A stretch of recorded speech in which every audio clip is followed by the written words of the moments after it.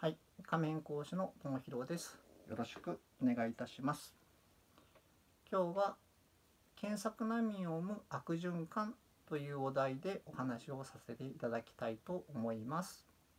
はい、こちらの内容は学生さんだけではなく学生さんをお子さんに持つ保護者の方にも参考にしていただけたらと思ってますのでよろしくお願いいたします。はい。えっ、と高校に入って、えー、と特に教科で言うと、えー英語だと思うんですけれども学校の方から、まあ、高校の方から、えー電子辞書を購入してくださいというお願いがあったりすることが多いと思うんですね。はいまあ、あの電子辞書というのはとてつあのとてもあの便利なツールなのであの持っていて損はないとは思うんですけれども紙の辞書を調べたことがない子がいきなり電子辞書を、え扱うというふうになると結構な割合で、え迷うというか間違ったものを、え検索してしまうということがあったりします。はい、で今英語でっていうお話をさせていただいたんで例えば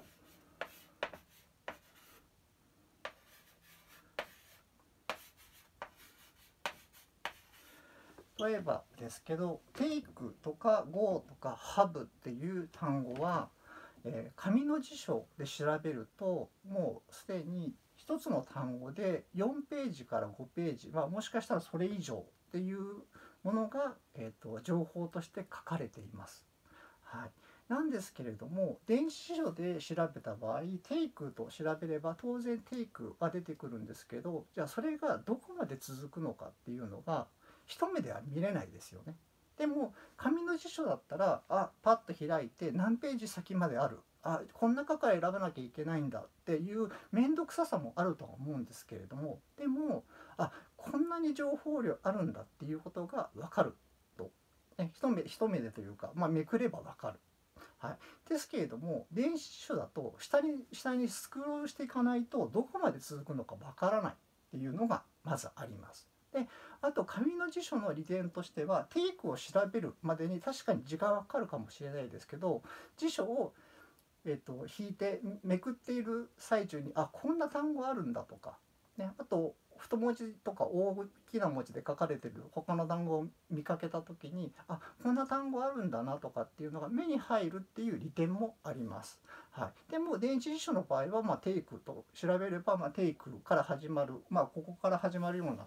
ものがヒットするだけなので、まあ、そういうものに目を触れるっていうことがまずないっていうでそういうデメリットはあります。はい、ですね。なのでで、えっと、今だともう下手すると電子辞書ではなく、えっと、もう、ね、スマホ1個で何でも調べられる時代ですから、ね、電子辞書だもう買わずに、まああのスマホで調べればいいじゃんっていう形で調べる子もいるとは思うんですけれどもなるべくであれば、えーえー紙の辞書を先に調べるあ紙の辞書を引くっていう、えーことを、まあ、小学校、まあ、早ければ早い方がいいので、まあ、小学校中学校の間からそれいうそういう紙の辞書を引くっていう癖を、えー、とつけていただければと思います。はい、でまああの先ほど、まあ、スマホで何でも調べられるっていうお話をしましたけれども同じくスマホで、まあ、調べる、まあ、それはスマホだけじゃなくネットで調べるっていう時に、まあ、何か検索したいワードっていうものをあの打ち込んで、えー、といくと思うんですけれども、えー、とネットの検索の場合まあえー、と全てが正しいわけではないっていうのと,、えー、とヒットしたものの一番上が正しいっていうことでももちろんないわけですね。はい、ネットの場合は特にヒットしたヒットして見た人が多いものだったりとかまあその語句が含まれる、えーと、サイトが一番最初に来るように出来上がっているのでそこで、えーと、一番上に来てるからとかっていうのでそれが正しい情報だっていうふうに思い込んだり自分が一番欲しい情報っていうものがそこにあるかどうかっていうのがきちんとわからない場合が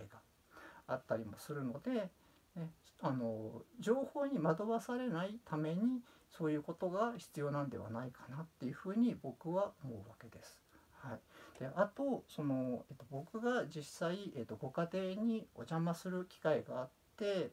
えっと、その辞書って何がいいんですかっていう形でおすすめの辞書何がありますかっていうふうに聞かれたことがありました。はい、で実際僕は、えっと、家に辞書があの例えば、えっと、国語辞典と、えー、漢和辞典まあ漢字辞典ですねと英和辞典この3つはあって当たり前というぐらいな気持ちでいたんですけれどもまあその相談されたご家庭には、えっとまあ、この3つともなかったんですね。まあ、実際、えっと、ネットで全部調べられるようなあのご家庭だったようだったのでまあ実際必要なかったんでしょうけれどもえっとまあ、なのでまあでもお子さんのためにこの3つぐらいは揃えておいた方がいいんではないですかっていう形でおすすめの辞書をいくつか、はい、それぞれねあの3つか4つぐらいをあのピックアップしてで、えっと、ただその個人差があるのでそのおすすめの辞書がどれが自分に適しているのかっていうのを必ず本屋さんに行って確認をしてくださいっていうことを同時にお願いしたんですが残念なことに、まあ、あのそういうご家庭だったのであの、まあ、ネットで注文して、えーと、購入するっていう形に、ま、なってしまったんですが、えーと、本屋さんに行ってほしい理由っていうのも、えーと本屋さんに行けばどんな辞書なんだろうっていうことが確認できるっていう利点ももちろん一つあるんですけれどももう一つはどんな本が売っているんだろ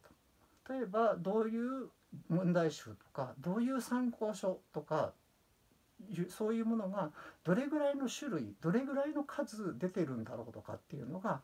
えー、と本屋さんに行けば見れるはずなんですね。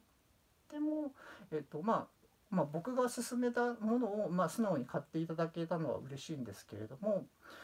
えっと、それを、えっと、実際のものを確認しないで、えっと、買ってしまうっていうと、えっと、その本屋さんでどういうものが使われているのか、まあ、当然本屋さんなので本なんですけれどもどれぐらいのものが出版されているのかとかっていうのを確認する機会っていうのをすでにその時点で奪ってしまっているっていう残念な点があると思います。はいでえこれは先ほどのねことあの単語を調べるっていう時に他にどんな単語があるのかとかっていうのを、えーと、電子辞書だとそれがわからないけれどもあの紙の辞書だったらそれがまあちょっとあの引いてあの辞書を引けばわかるっていうことと同じように本屋さんに行くっていうことで本屋さんで何が売っているのかっていうのがわかるっていう、ね、そういう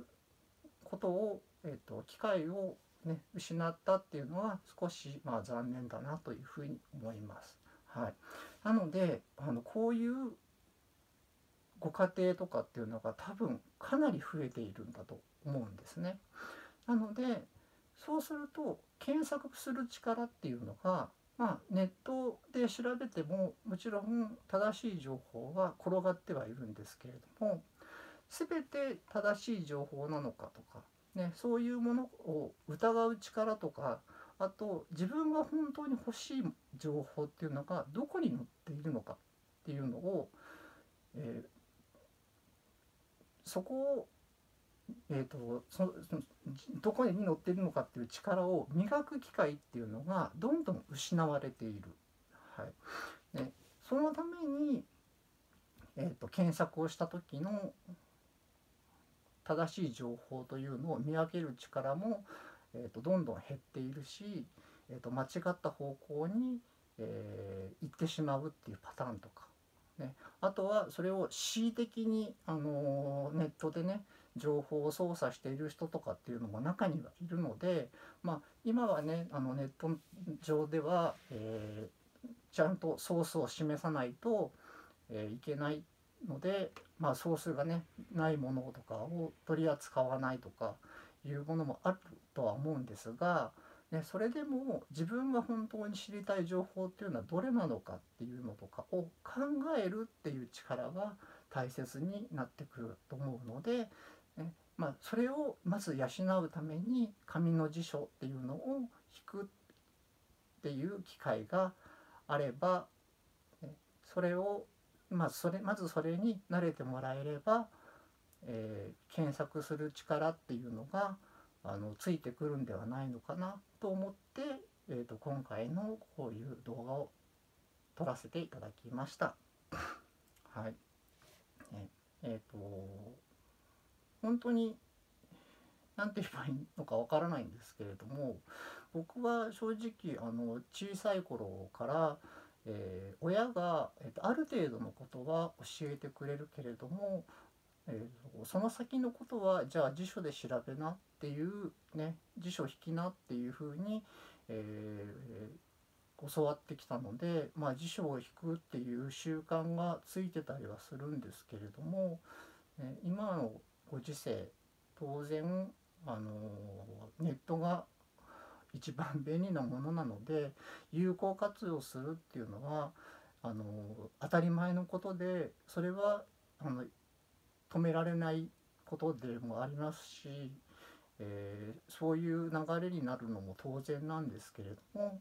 ねえーとまあ、デジタル化されている今えー、というかデジタル化され始めた時代ぐらいから、まあ、ペーパーレスの時代が来るんじゃないかっていうふうには言われてましたけれども実際ペーパーレスになってないのでというのも先ほど言ったような、えーと、理由があったりとかあとは、まあ、僕みたいにあのあの超アナログ人間で